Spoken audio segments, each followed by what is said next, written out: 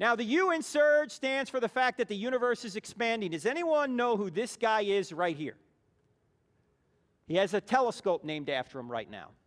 That's Edwin Hubble.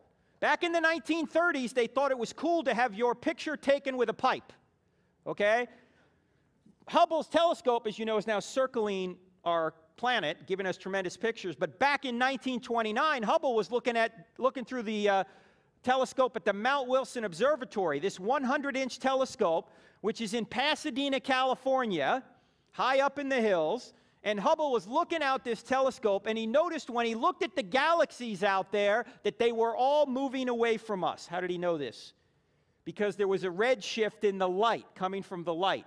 And that redshift told him that the galaxies were racing away from us. If the, if the galaxies looked blue, they'd be coming to us, but they were all moving away. So Hubble deduced if we could watch the universe in reverse, in other words, we could watch time in reverse, we could reverse time and see it, see everything come in reverse, we would see all those galaxies, all those stars collapse back to a point not the size of a basketball, not the size of a pinhead, but mathematically it would collapse back ultimately to nothing.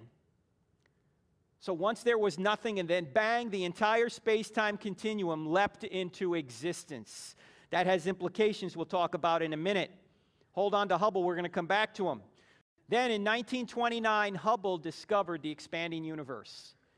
And he called Einstein up and he said, Al, you remember what you calculated in your general relativity equations back in 1917? I am observing what you calculated mathematically. Why don't you come out to Mount Wilson and you can look through my telescope and see the expanding universe for yourself? So in 1931, Einstein went out to Mount Wilson and he looked through Hubble's telescope. In fact, who's that right behind him? That's Hubble. See the pipe? Einstein saw the red shift in the light. He got off the telescope, and at some point later, he said the cosmological constant was the greatest mistake in my professional life. The universe did have a beginning.